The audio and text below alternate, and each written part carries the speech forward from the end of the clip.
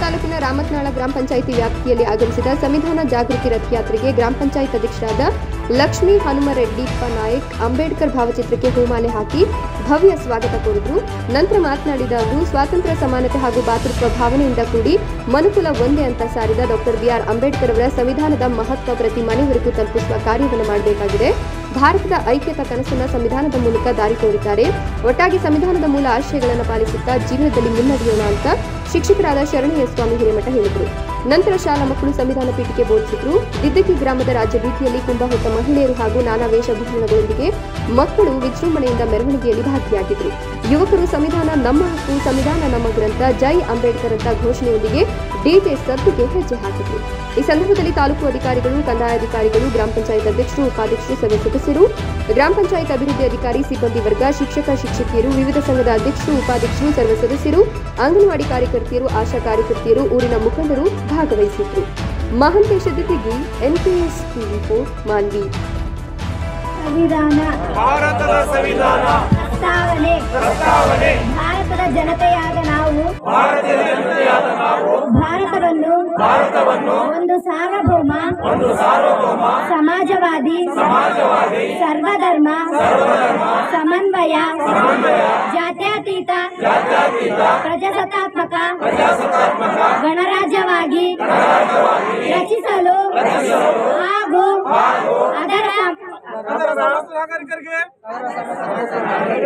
ಸಾಮಾಜಿಕ, ಆರ್ಥಿಕ ಮತ್ತು ರಾಜಕೀಯ ನ್ಯಾಯ ಹಾಗೂ ವಿಚಾರ, ಅಭಿವ್ಯಕ್ತಿ, ವಿಶ್ವಾಸ ವಿಶ್ವಾಸ ಧರ್ಮಶ್ರದ್ಧೆ ಮತ್ತು ಉಪಾಸನ ಸ್ವಾತಂತ್ರ್ಯ ಸ್ಥಾನಮಾನ ಮತ್ತು ಅವಕಾಶ ಹಾಗೂ ಸಮಾನತೆ ದೊರೆಯುವಂತೆ ಮಾಡಲು ಮತ್ತು ವ್ಯಕ್ತಿ ಗೌರವವನ್ನು ರಾಷ್ಟ್ರದ ಏಕತೆಯನ್ನು ಹಾಗೂ ಅಖಂಡತೆಯನ್ನು ಮೂಡಿಸಿ ಎಲ್ಲರಲ್ಲಿಯೂ ಭ್ರಾತೃತ್ವ ಭಾವನೆಯನ್ನು ಬೆಳಗುವಂತೆ ಶ್ರದ್ಧಾಪೂರ್ವಕವಾದ ದೃಢ ಸಂಕಲ್ಪ ಮಾಡಿದವರಾಗಿ ನಮ್ಮ ಸಂವಿಧಾನ ಸಭೆಯಲ್ಲಿ ದಿನಾಂಕ ಇಪ್ಪತ್ತಾರು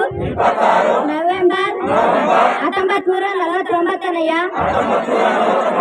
ದಿನದಂದು ದಿನದಂದು ಈ ಮೂಲಕ ಈ ಮೂಲಕ ಈ ಸಂವಿಧಾನವನ್ನು ಅಂಗೀಕರಿಸಿ ಅಂಗೀಕರಿಸಿ ಅಧಿನಿಯಮಗೊಳಿಸಿ ನನಗೆ ನಮಗೆ ನಾವೇ ಅರ್ಪಿಸಿಕೊಂಡಿದ್ದೇವೆ. ಅರ್ಪಿಸಿಕೊಂಡಿದ್ದೇವೆ ಜೈ ಹಿಂದ್ ಜೈ ಹಿಂದ್. ಬಹಳ ಸಮಯ ಆಗಿರೋದ್ರಿಂದ ನನಗೆ ನಿನ್ನೆ ದಿನವೇ ಉಪಾಧ್ಯಕ್ಷರು ಫೋನ್ ಮಾಡಿ, ಸರ್, ನಾಳೆ ಬರಬೇಕು, ಒಂದು ನಾಲ್ಕು ಮಾತಾಡಬೇಕು ಅಂತ ಹೇಳಿದರು. ಹಾಗಾಗಿ ಬಂದಿದ್ದೆ ಕೊನೆಯದಾಗಿ ಸಿಕ್ಕಿದೆ. ಈ ಸಂದರ್ಭದಲ್ಲಿ ಕರ್ನಾಟಕ ಘನ ಸರ್ಕಾರ ಸಂವಿಧಾನ ಜಾಗೃತಿ ಜಾಥಾವನ್ನು ರಾಜ್ಯಾದ್ಯಂತ ಹಮ್ಮಿಕೊಂಡಿರೋದು ನಮ್ಮೆಲ್ಲರಿಗೂ ಒಂದು ಹೆಮ್ಮೆಯ ವಿಷಯ. ಈ ಸಂದರ್ಭದಲ್ಲಿ ನಿಮ್ಮೆಲ್ಲರಿಗೂ ಗೊತ್ತಿದೆ, ನಾನು ಬಹಳಷ್ಟು ಏನು ಮಾತಾಡಲಿಕ್ಕೆ ಹೋಗಲ್ಲ. ಸಂವಿಧಾನ ಮತ್ತು ಅಂಬೇಡ್ಕರ್.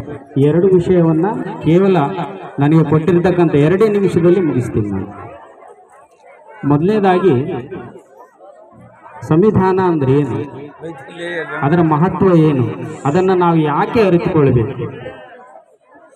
ಸಂವಿಧಾನದ ಪೀಠಿಕೆಯ ಮೊದಲನೇ ಸಾಲನ್ನು ಮಾತ್ರ ಹೇಳ್ತೀನಿ ಮೊದಲನೇ ಸಾಲ ಏನು ಹೇಳುತ್ತಂದರೆ we the people of India ಭಾರತೀಯ ಪ್ರಜೆಗಳಾದ ನಾವು. ಇದು ಒಂದನ್ನ ನೀವು ಅರ್ಥ ಮಾಡಿಕೊಂಡ್ರೆ ಇದರಲ್ಲಿರ್ತಕ್ಕಂಥ ಸಾರ, ಇದರಲ್ಲಿರ್ತಕ್ಕಂಥ ಮಹತ್ವ ನಾನು ಒಂದೇ ಒಂದು ವಾಕ್ಯನ್ನ ಹೇಳ್ತಾ ನನ್ನ ಮಾತನ್ನು ಮುಗಿಸ್ತೇನೆ.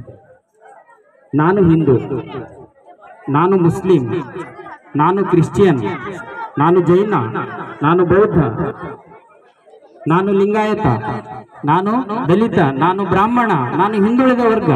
ನಾವು ಏನೇನೋ ಹೇಳ್ತೀವಿ, ಆದರೆ ನಮ್ಮ ಸಂವಿಧಾನ ಹೇಳುತ್ತೆ ನಾನಲ್ಲ. ನೀನು ಭಾರತೀಯ. ನೀನು ಭಾರತೀಯ. We the people of India ಇವೆಲ್ಲವುಗಳನ್ನ ಮೀರಿರುವಂತಹ ವ್ಯಕ್ತಿ ನೀನು ಯಾರು ಅಂದ್ರೆ? ಯು ಆರ್ ಇಂಡಿಯನ್ ನೀನು ಭಾರತೀಯ. ಇದೇ ಮೊದಲಿನ ಸಾಲು ನೋಡಿ, ಸಂವಿಧಾನದ ಆಳವನ್ನ ನಾವು ಕೆದಕುತ್ತಾ ಹೋದಂತೆಲ್ಲ ನಮಗೆ ಅನೇಕ ವಿಷಯಗಳು ಗೊತ್ತಾಗ್ತವೆ. ವೇದಗಳಿರ್ಬೋದು, ಉಪನಿಷತ್ತುಗಳಿರ್ಬೋದು, ಅರಣ್ಯಕಗಳಿರ್ಬೋದು, ಬ್ರಾಹ್ಮಣ್ಯಗಳಿರ್ಬೋದು, ವಚನಗಳಿರ್ಬೋದು, ಕೀರ್ತನೆಗಳಿರ್ಬೋದು ಊಗಾಭೋಗಗಳಿರ್ಬೋದು ದ್ವೈತ, ಅದ್ವೈತ, ವಿಶಿಷ್ಟಾದ್ವೈತ, ನೀವೇನನ್ನ ಹುಡುಕಿ? ಇವೆಲ್ಲವುಗಳನ್ನ ಸಂಕಲಿಸಿ, ಇವೆಲ್ಲವುಗಳನ್ನ ಸಮೀಕರಿಸಿ, ಇವೆಲ್ಲವುಗಳಿಗೆ ಪರ್ಯಾಯವಾದಂತಹ ಒಂದು ಜೀವನ ದಾರಿಯನ್ನು ತೋರಿಸ್ತಕ್ಕಂಥ ನಮ್ಮ ಆಧ್ಯಾತ್ಮ, ನಮ್ಮ ಒಂದು ಧರ್ಮ ಗ್ರಂಥ ಅಂದ್ರೆ ಅದು ಸಂವಿಧಾನ. ಈ ನಿಟ್ಟಿನಲ್ಲಿ ನಾವು ಯೋಚನೆ ಮಾಡಬೇಕಾಗಿರೋದು ಇದನ್ನು ಇನ್ನೊಂದು ಮಾತನ್ನು ಹೇಳ್ತೀನಿ. ಸಂವಿಧಾನದಲ್ಲಿ ಕಂಡುಕೊಂಡಂತ ಒಂದು ಮಾತು. ಧರ್ಮದ ಆಧಾರದಲ್ಲಿ, ಶ್ರೇಷ್ಠತೆಯ ಆಧಾರದಲ್ಲಿ ವಿಭಜಿಸ್ತಕ್ಕಂಥ ಧರ್ಮಗಳು ಬೇಡ. ಹುಟ್ಟಿನ ಆಧಾರದಲ್ಲಿ ವಿಭಜಿಸತಕ್ಕಂಥ ಜಾತಿಗಳು ಬೇಡ. ಸಮಾನತೆಯ ಆಧಾರದಲ್ಲಿ ಒಗ್ಗೂಡಿಸುವಂತಹ ಧರ್ಮ ಗ್ರಂಥ ಯಾವುದಾದ್ರೂ ಇದ್ದ ಅದು ಸಂವಿಧಾನ ಇಷ್ಟೇ ಸಾಕು ಸಂವಿಧಾನದ ಒಂದು ಮಾ, ಒಂದೇ ಒಂದು ಸಾಲನ್ನು ಅರ್ಥೈಸಿಕೊಳ್ಳಲಿಕ್ಕೆ ಸಾವಿರಾರು ಅಧ್ಯಯನಗಳನ್ನು ಮಾಡಲಿಕ್ಕೆ ಬೇಕಾಗಿದೆ. ಸಂವಿಧಾನ ಅಂತಂದ್ರೆ ಬುದ್ಧನ ಶಾಂತಿಯ ಮಾರ್ಗ. ಬಸವನ ಸಮಾನತೆಯ ಮಾರ್ಗ. ಅಂಬೇಡ್ಕರರ ಮಾನವತೆಯ ಮಾರ್ಗದ ತಿರುಳು ಅದು ಎಲ್ಲಿ ಸಿಗುತ್ತೆ ಅಂದರೆ ನಮ್ಮ ಸಂವಿಧಾನದಲ್ಲಿ ಸಿಗುತ್ತೆ. ನಾವು ಯಾವ ಧರ್ಮ ಗ್ರಂಥಗಳನ್ನು ಓದೋದು ಬೇಕಾಗಿಲ್ಲ, ಯಾವ ಋಷಿಮುನಿಗಳನ್ನು ಅರ್ಥೈಸ್ಕೊಳ್ಳೋದು ಬೇಕಾಗಿಲ್ಲ, ನಾವು ಅರ್ಥೈಸ್ಕೊಳ್ಬೇಕಾಗಿದ್ದು ಏನಾದರೂ ಇದ್ರೆ ಅದು ಸಂವಿಧಾನ. ಸಂವಿಧಾನ ಇದು ಒಂದು ಜೀವನ ಮಾರ್ಗ. ಸಂವಿಧಾನ ಅನ್ನೋದು ಕೇವಲ ಯಾರೋ ಬರೆದಿಟ್ಟಿರ್ತಕ್ಕಂತಹ ವಾಕ್ಯಗಳಲ್ಲ, ಯಾರೋ ಬರೆದಿರ್ತಿ ಬರೆದಿಟ್ಟಂತಹ ಲೇಖನಗಳಲ್ಲ. ಅದು ಜೀವನ ಮಾರ್ಗಗಳು. ಎಲ್ಲವೂ ಇದಾವೆ ಇದರಲ್ಲಿ. ಹಾಗಾಗಿ ನಮ್ಮ ಬದುಕನ್ನ, ನಾವು ಒಂದು ಪ್ರಜಾಪ್ರಭುತ್ವ ರಾಷ್ಟ್ರವನ್ನ, ಇದನ್ನ ಒಂದು ನಾವೇ ಅನ್ಕೊಂಡ್ರೆ, ಇದನ್ನ ಒಂದು ದೋಣಿ ಅನ್ಕೊಂಡ್ರೆ, ಈ ದೋಣಿಯನ್ನ ನಡೆಸುವಂತಹ ನಾವಿಕ ಗಟ್ಟಿಯಾಗಿದ್ದಾಗ ಮಾತ್ರ ದೋಣಿ ಸರಾಗವಾಗಿ ದಡ ಸೇರುತ್ತೆ. ಹಾಗಾದ್ರೆ ಆ ನಾವಿಕ ಯಾರು? ಅದೇ ಸಂವಿಧಾನ. ಅದೇ ಕಾನ್ಸ್ಟಿಟ್ಯೂಷನ್ ಭಾರತೀಯರನ್ನ ಆ ನಾವೆಯ ಒಳಗಡೆ ಶ್ರೇಷ್ಠತೆಯತ್ತ, ಶ್ರೇಷ್ಠ ಭಾರತವನ್ನಾಗಿ ನಿರ್ಮಿಸೋದು ನಿರ್ಮಿಸೋದು ಯಾವುದಾದ್ರೂ ಇದ್ರೆ ಅದೇ ನಾವಿಕ, ಅದೇ ಸಂವಿಧಾನ. ಬೇರೆ ಏನು. ಸಂವಿಧಾನವನ್ನು ಅರ್ಥೈಸಿಕೊಳ್ಳುವುದರಲ್ಲಿ ನಾವು ಎಡುತ್ತಾ ಇದ್ದೀವಿ. ಸಂವಿಧಾನವನ್ನು ಇನ್ನೂ ತಿಳ್ಕೊಳ್ಳೋದ್ರಲ್ಲಿ ಇದ್ದೀವಿ ನಾವು. ಹಾಗಾಗಿ ಘನ ಸರ್ಕಾರ ಇಂತಹ